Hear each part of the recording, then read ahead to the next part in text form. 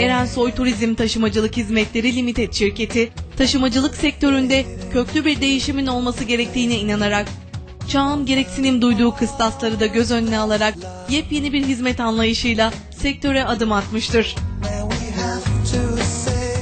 Firma, personel, öğrenci taşımacılığının yanı sıra tur ve gezi organizasyonları hizmetleri de vermektedir.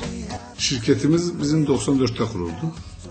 Siz mi kurdunuz? Ee, Ben kurdum şirketi. Hayır, hala devam ediyor. Halen devam etmekteyiz. Peki şu anda kaç araç hizmet veriyorsunuz? Aşağı yukarı yüzün üzerinde araçlı hizmet vermekteyiz şu anda. Bizim 15 tanesi kendi şirketimizin öz mal aracıdır. Diğerleri Diğerleri dışarıdan tedarik anlaşmalı olarak çalışan araçlardır. modelleri.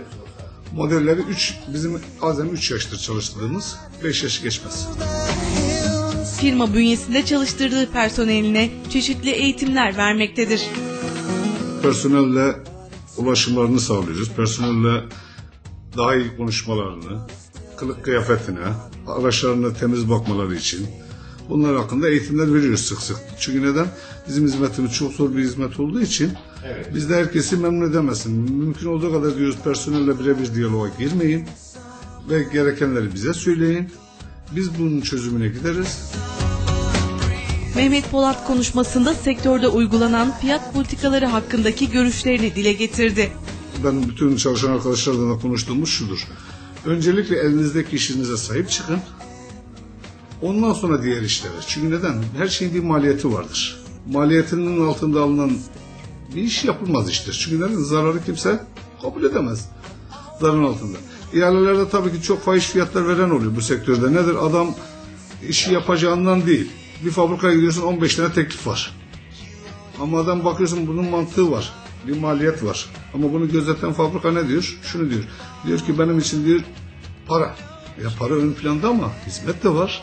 Biz burada bütün fabrikalarımıza istediği an istediği hizmeti veriyoruz. Evet. Neden? İşimizi kendine ona göre ayarlamışızdır. Ama adam gelir düşük bir fiyat verir sana. İşini üç gün yapar, beş gün yapar. Ondan sonra olanlarda bunları çok yaşadık mesela. Fabrikalarda çok zor bu, bu şekilde şeyleri gördük yani. Mehmet Polat son olarak sektörde tecrübenin önemini vurguladı. Şirketin geçmişi çok önemli. Şirket sahibinin bu işte deneyimi önemli. Ben mesela bu sektörde 20 senenin üzerinde bu sektörün içindeyim. Bu sektörün neden? Şoförlüğünü de yaptık, taşımasını da yaptık. Ben mesela diyelim ki benim bir tane arabam şey olsa çıkar arabanın üzerinde ben kendi personel taşırım. Hiçbir sıkıntı yok çünkü neden? Benim ekmeğim bu.